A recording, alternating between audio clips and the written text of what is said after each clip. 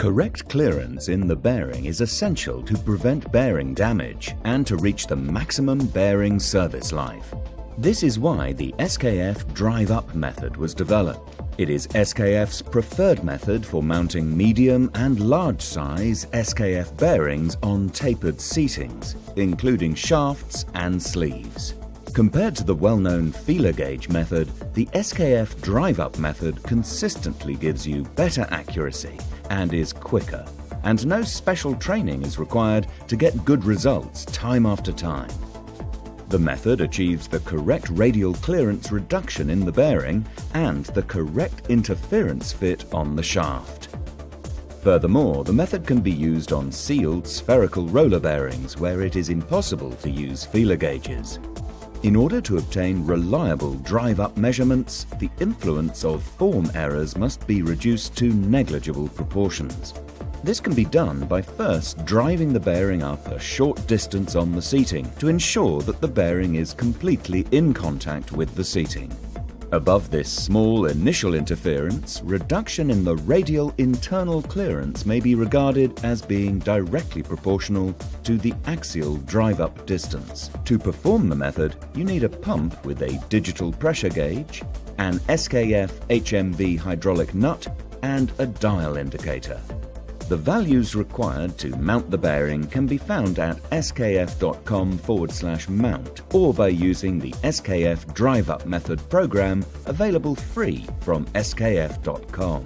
Now let's show you how to use the SKF Drive Up Method program to calculate the pump pressure at the starting position and also from the starting position the axial movement. Within the program we have five different options. 1 the bearing can be mounted straight onto a tapered seat. 2. It can be mounted on an adapter sleeve without the requirement to position against a shoulder on a shaft. 3. Or mounting against a shoulder on a shaft using an adapter sleeve with a spacer ring. In this case, the adapter sleeve is pulled through the bearing and would move against the bearing bore and shaft surfaces. And we have a withdrawal sleeve with a support ring due to mounting against a shoulder on the shaft with a thread on the shaft for mounting the hydraulic nut. 5. And here we have an alternative method of mounting with a withdrawal sleeve where a support plate is mounted to the end of the shaft instead of a threaded section. In this case, a larger hydraulic nut is required. In this example, we have chosen a 23160 CCK-W33 bearing. First, we select the application that is mounted straight onto a tapered seat.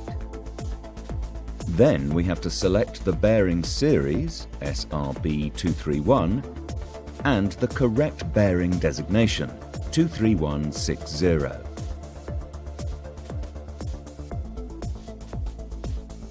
After selection, we can see the size of hydraulic nut needed for this application.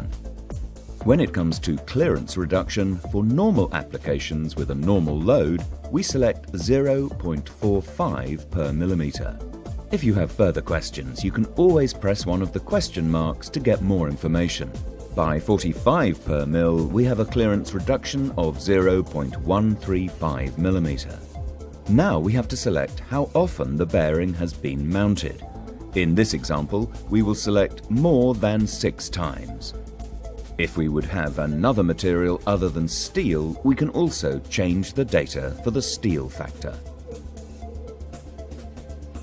When we then go to Calculate, we get a result for the pump pressure for the starting position of 2.82 megapascal and the drive-up axial movement is 1.54 millimeter.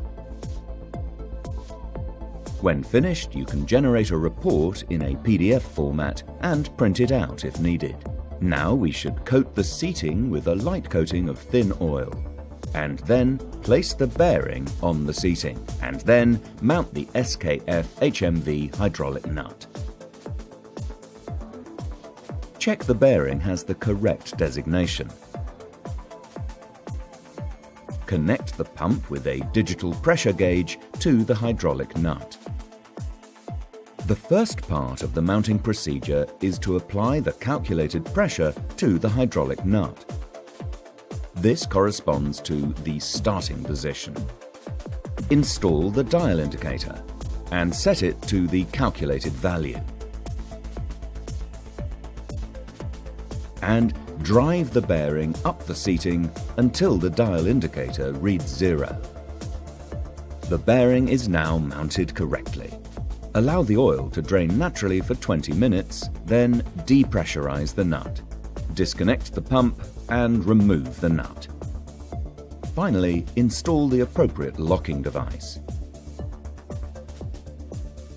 The SKF drive-up method is well proven and enables technicians to consistently and reliably perform correct and accurate bearing mounting.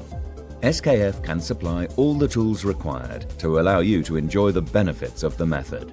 For more information, go to skf.com or contact your local authorized SKF distributor.